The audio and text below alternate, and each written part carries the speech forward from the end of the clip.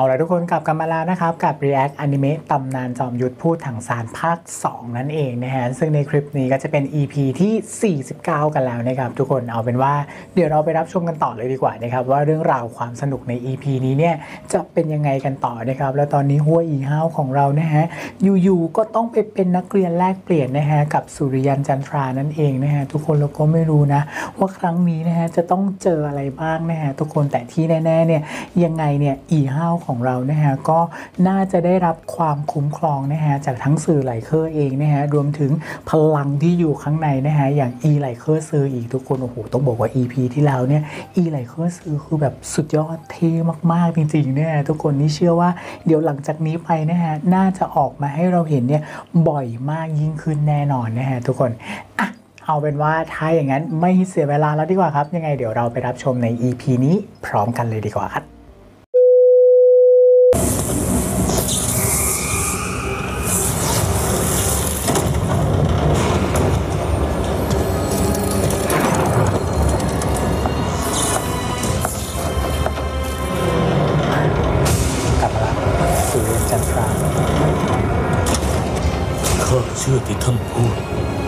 แต่การจะบุกเข้าโรงเรียนสื่อไหลเคอร์ไม่ได้ง่ายขนาดนั้น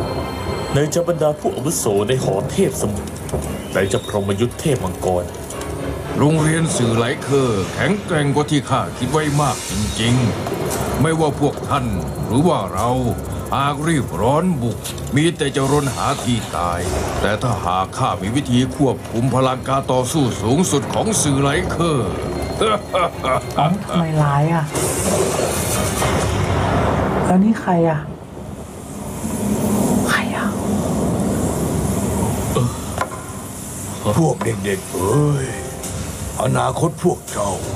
ขึ้นอยู่กับการพัฒนา พวกเจ้ารู้ไหมทำไมข้าถึงยอมพบกับจิ้งหงเฉินเพื่อข่มขวัญจักรวรรดิสุริยัน ได้ยินว่าพวกเขาคอยจับตาดู และเตรียมพร้อมที่จะทำสงคราม มีอีกข้อเอาหนึ่ไม่งได้เหรอวะดูเหมือนท่านใช้ความสำคัญ กับการแลกเปลี่ยนนักเรียนครั้งนี้ เจ้าพูดถูกทุกอย่าง สงครามยากจะหลีกเลี่ยง เวลาที่ข้าจะอยู่ปกป้องสื่อไลเคอร์นั้นมันน้อยลงไปทุกที เพราะมัน พวกเจ้าจะต้องรีบเติบโตขึ้นเร็วๆวีเฮาและเซียวเซียวต้องไปตามล่าวงแหวน เตรียมตัวให้พร้อม เจ้าสองคนไปที่ป่าสิงโตด้วยกันนะ ข้าไปด้วย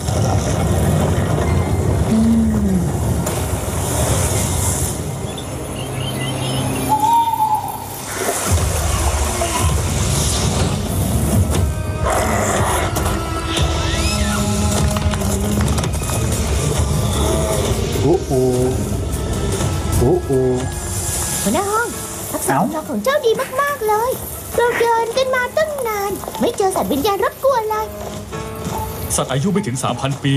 มันจะหลบไฟแม้กลิ่นอายจะแข็งแกร่ง แล้วหลีกเลี่ยงการฆ่าโดยไม่จำเป็นอะโอเคนะจะได้ไม่ต้องประทับมีอะไร กลิ่นอายของสัตว์วิญญาณนี่ไม่ธรรมดาเลย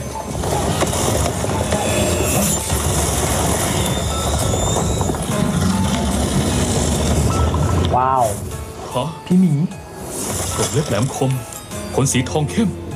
มันคือหมีสีทองเข้มกรงเล็บสถานสามพันปี สีทองเข้มหมีอะไรนะ อาจารย์ว่าหมีสีทองเข้มมีฉายาว่าผู้ฉีกถึงแผ่นดิน เป็นหนึ่งในสัตว์วิญญาณที่แข็งแกร่ง อ่าฮะทำไมสัตว์ที่ไร้กาจเช่นนี้ ถึงมาอยู่แถวป่าซิงโตได้ล่ะ มันคงจะไม่ได้ตามมากินเรา เพราะได้กลิ่นนะ เฮ้ยแย่แล้วมาไปแล้วเร็วพลังมาแล้ว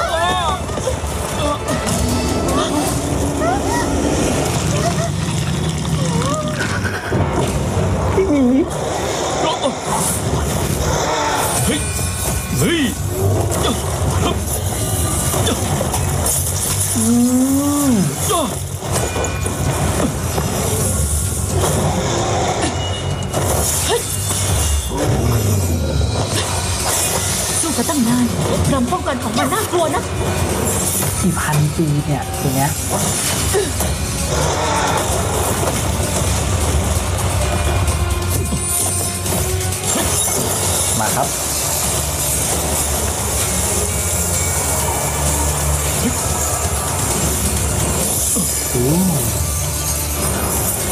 ใช้ของใหม่เลยนะ กระดูกวิญญาณอันใหม่เลยนะ ระเบิดน้ำแข็ง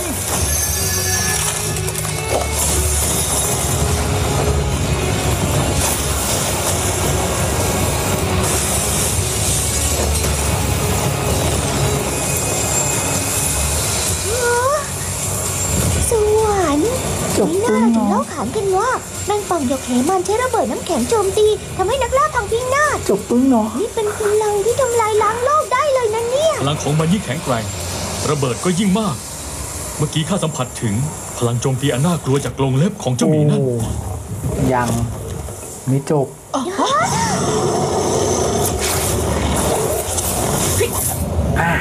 จันโจ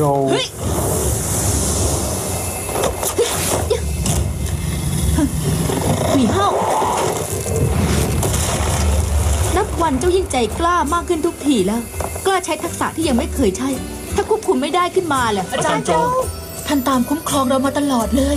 หัวหน้าใช้ระเบิดน้ำแข็งปกป้องข้าด้วย ท่านอย่าลงโทษเขาเลยนะคะรีฟพวกเจ้าพิชิตหมีสีทองเข้มที่เทียบเท่าสัตว์วิญญาณหมื่นปีได้ข้าดีใจเป็นยิ่งนะหมีนี้เป็นสัตว์หายากที่ประสานการโจมตีและป้องกันเอาไว้ปีเลยเหรอวงแหวนเหมาะกับเซียวเซียวๆมากอ่า สายป้องกัน ไปเซียวเซียวๆอีลูกกอย่าง กระดูกกุ้งมือขวานั่นหายากกว่า เป็นกระดูกวิญญาณภายนอก ไม่ส่งผลต่อการดูดซับกระดูกแขนขวาแถมมีทักษะของหมีนี่ด้วย มันฉีกถึงมังกรยักษ์และสั่นสะเทือนโลกได้ เพียงแต่ ผู้ดูดซับจะต้องสยบพลังสายเลือดอันแข็งแกร่งให้ได้ ซึ่งมันยากมาก ดีมากเลยเซียวเซียวรีบดูดซับวงแหวนกับกระดูกวิญญาณเร็ว ไม่ล่ะหัวหน้าเขาคิดว่ากระดูกวิญญาณควรเป็นของเจ้า เจ้าเป็นคนพิชิตหมีสีทองเข้มตัวนี้ แต่ว่าร่างกายข้าอ่อนแอที่สุด ดีไม่ดีอาจถูกมันโต้กลับหัวหน้าห้องเจ้าเป็นมัตการน้ำแข็งต้องทำได้แน่ๆข้าดูดซับวงแหวน ส่วนเจ้าดูดซับกระดูกตกลงตามนี้นะ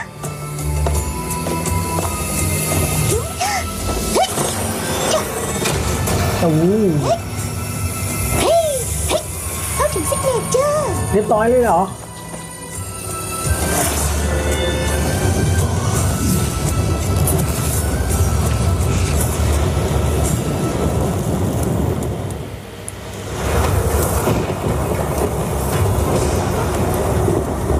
อย่าลืมภารกิจของตนอย่ามัวแต่ต่อสู้ ทุกอย่างทำเพื่อเป้าหมายที่ใหญ่กว่านั้น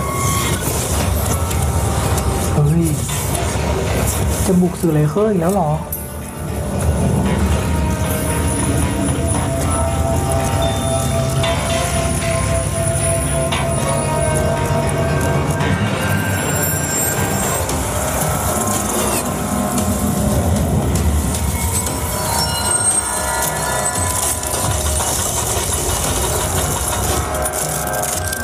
งหวะที่แตะนั้นแน่เลยอะ ตายแล้ว ต้องทำอะไรกับมาเซอร์คอแน่เลยอะ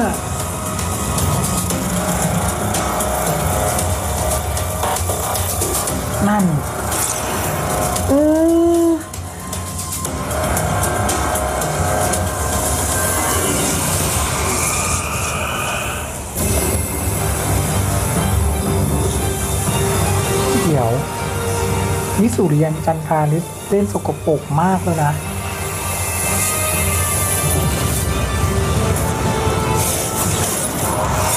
ฮ้ยเฮ้ยฮึบวิชาหัดจกนินฮ้ยโอ้โห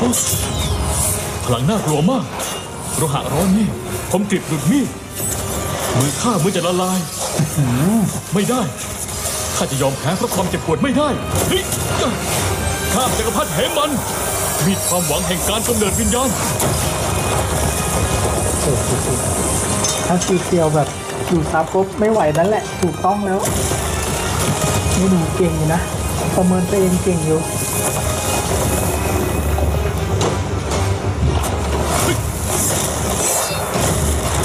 ว้าว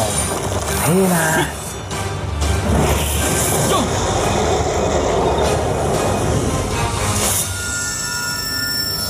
ได้แล้วปะต่อไปก็หาวงแหวนให้หัวหน้า ดูแล้วพวกเจ้าจัดการเองได้แน่งั้นก็กลับก่อนแล้วกัน ครับค่ะ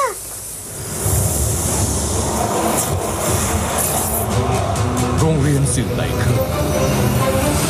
ศัตรูโจมตีศัตรูโจมตีให้ทีทุกคนกลับเข้ากรอบป้องกันของสื่อไหลเคอร์ให้อาจารย์ประจำชั้นตามหาและคุ้มกันนักเรียนของตน ศัตรูโจมตีศัตรูโจมตีให้นักเรียนทุกคนกลับเข้ากรอบป้องกันของสื่อไหลเคอร์ให้อาจารย์ประจำชั้นตามหาและคุ้มกันนักเรียนของตนเร็วเข้ารายงานหอเทพสมุทรว่าโรงเรียนถูกบุกรุกโจมตีพร้อมกันหลายจุดศัตรูไม่ต่ำกว่าสิบคน แต่นั้นมีราชทินานำอยู่อย่างน้อยสี่คน ดูจากวิชาประหลาดที่ใช้เกรงว่าจะมีวิญญาจารย์ปีศาจร่วมด้วยโอ้เดี๋ยวนะ สิงล่างได้ด้วยเหรอ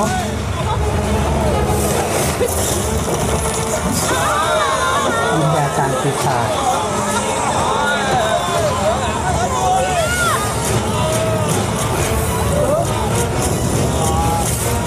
เดี๋ยวนะเรื่องยังไม่เข้าใจเลยอะ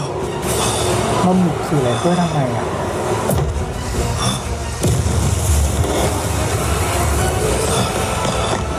เสี่ยวเถาอืม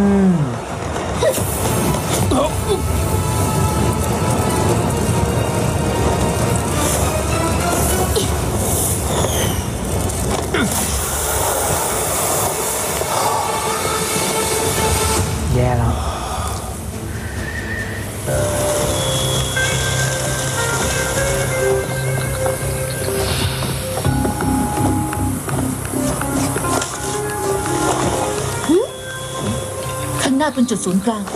ทุกคนระวังด้วย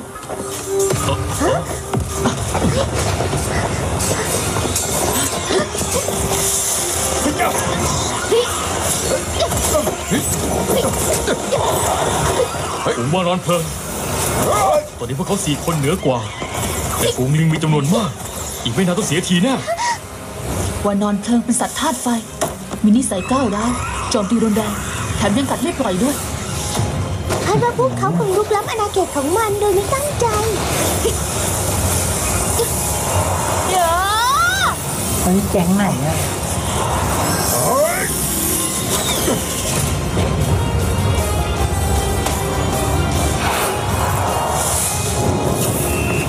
คุ้มครองคุณหนู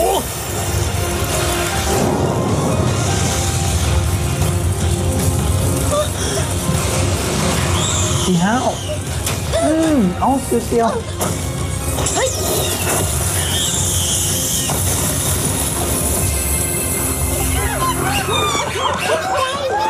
ไปออกมาโอ้เห็นวงแหวนปะข้าไม่เป็นไร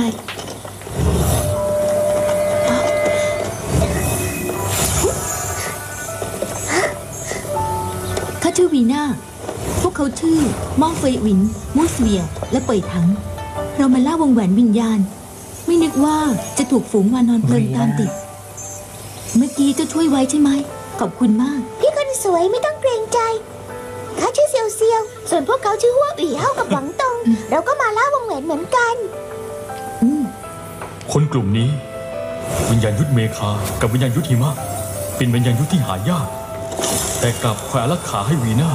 ฐานะของวีน่าต้องสูงสักแน่สวยพวกเนาะเจ้าเด็กน้อยแค่สามคนกล้ามาจุดศูนย์กลางเชียวเดี๋ยวคงมีสัตว์วิญญาณหมื่นปีโผล่มาอีกแน่ท่านอามอเราร่วมทางไปกับพวกเขาดีกว่าถือเป็นการตอบแทนที่ช่วยเรา มาแล้วครับ พูดถึงสัตว์วิญญาณก็มาแล้ว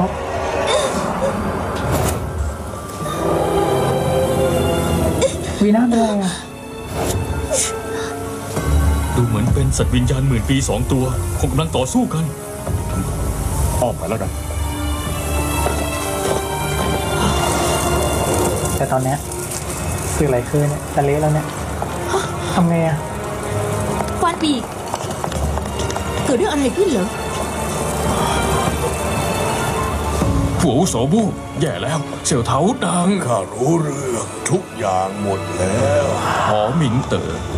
เอ ลายมากวีเฮาตัวหนึ่งที่กำลังสู้กันอยู่ มีกลิ่นอายประเภทพลังจิตที่เหมาะกับเจ้า เจ้าแอบไปดูคนเดียวเงียบๆเร็วเข้า อย่าให้พวกมันตกใจข้าคนเดียวเหรอพี่เทียนมากนั่นสัตว์วิญญาณหมื่นปีสองตัวเชียวนะข้าจะไปสู้ได้ไงกลัวอะไรยังไงเราก็มีนักปิงปิงอยู่ด้วยทั้งคันรีบไปดูเร็วเชื่อพี่เถอะหมอนตรงเซียวเซียวดูเหมือนว่าแถวนี้มีสัตว์ที่เหมาะกับข้าอยู่ข้าจะไปดูนะ พวกเจ้าตามพวกท่านอาม่อไปก่อน เดี๋ยวข้ากลับมา ว้าวฉายเดียวอะ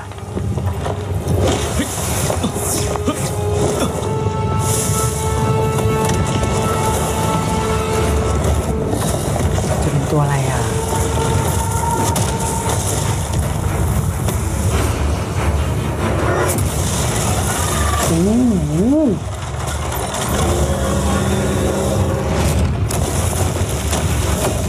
ตัวเดียวสองหัว ยักษ์สองหัวตาเดียวยักษ์สองหัวตาเดียว มีเข้าจำลองกลิ่นอายของน้องปิงปิง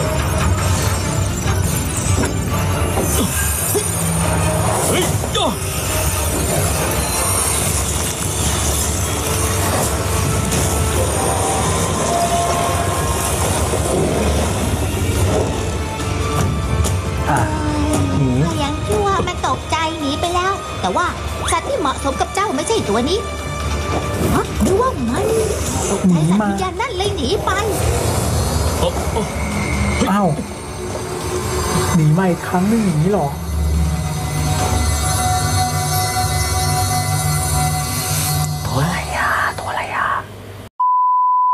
เอาละทุกคนจบไปพิธีเรียบร้อยแล้วนะครับสำหรับใน EP ที่ 49 นั่นเองนะฮะสำหรับใน EP นี้นะฮะก็ต้องบอกว่ามีเรื่องให้เราเนี่ยปวดหัวกันอีกแล้วนะฮะทุกคนเพราะว่าครั้งนี้เนี่ยจิ้งหงเฉินแห่งสุริยันจันทรานะฮะดูเหมือนว่าจะกลับมาแก้ตัวนะฮะแล้วก็บุกโจมตีสื่อไหลเคอร์นะฮะทุกคนหลังจากที่ครั้งที่แล้วนะฮะไม่สามารถโจมตีสื่อไหลเคอร์ได้นะฮะทุกคนเพราะว่าตัวท่านผู้โสมูนะฮะ จับได้ก่อนนั่นเองนะฮะทุกคนแต่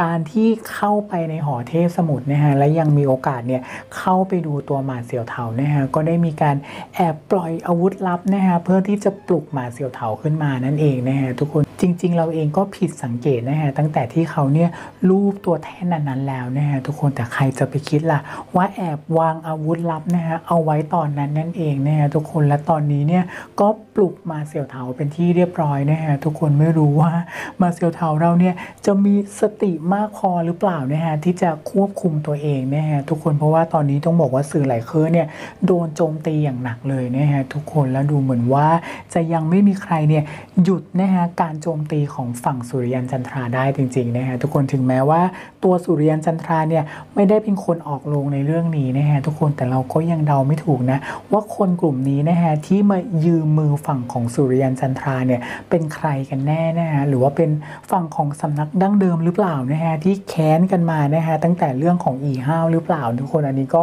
แอบยังไม่ชัวร์เหมือนกันนะฮะทุกคน ทีนี้ในฝั่งของอีห้าวหวังตรงแล้วก็เซียวเซียวนะฮะที่ตอนนี้เนี่ยเหมือนผู้โสมูนะฮะตั้งใจให้ทั้ง 3 คนเนี่ยมาที่ป่าสิงโตนั่นเองนะฮะเหมือนจะรู้ล่วงหน้าหรือเปล่านะฮะว่าสื่อไหลเคอเนี่ยกำลังมีอันตรายนะฮะก็เลยเหมือนกับว่าสั่งให้ทั้ง 3 คนเนี่ยไปล่านะฮะตัวสัตว์วิญญาณนั่นเองนะฮะทุกคนและครั้งนี้อีห้าของเราเนี่ยดูเหมือนว่ากำลังจะเจอสัตว์วิญญาณนะฮะที่เข้ากับตัวเองด้วยนะฮะทุกคนเพราะว่าด้วยความที่พี่เทียนเมืองเนี่ยสัมผัสได้ว่าสัตว์วิญญาณตัวนี้นะฮะมีธาตุเป็นพลังจิตนั่นเองนะฮะทุกคนซึ่งถ้าสามารถจัดการได้นะฮะก็จะสามารถเสริมพลังให้กับอีห้าวของเราแบบเต็มๆเลยนะฮะทุกคนแต่ว่ายังไงนะฮะเดี๋ยวต้องรอติดตามกันต่อแล้วกันนะครับว่าสรุปสุดท้ายเนี่ยหน้าตาของสัตว์วิญญาณเนี่ยจะเป็นยังไงกันแน่นะฮะทุกคนแต่ที่แน่ๆเนี่ยยังไงเนี่ยก็ต้องหมื่นปีอัพแน่นอนนะฮะทุกคนและอีห้าวของเราเนี่ยมาคนเดียวด้วยสิไม่รู้จะเอาอยู่หรือเปล่านะฮะทุกคน โอเค เอาเป็นว่าเดี๋ยวยังไง EP นี้จบเอาไว้เท่านี้ก่อนละกันนะครับ แล้วเดี๋ยวเราตามไปดูกันต่อละกันนะครับ ว่า EP ต่อไปเนี่ยเรื่องราวจะเป็นยังไงกันต่อนะครับ และสำหรับเพื่อนๆนะฮะที่ดูมาถึงตรงนี้นะฮะยังไงก็อย่าลืมช่วยกันกดไลค์กดแชร์เป็นกำลังใจให้อามด้วยนะครับ ยังไงวันนี้ไปก่อนแล้วกันนะฮะทุกคนไว้เจอกัน EP หน้านะครับ บ๊ายบายครับ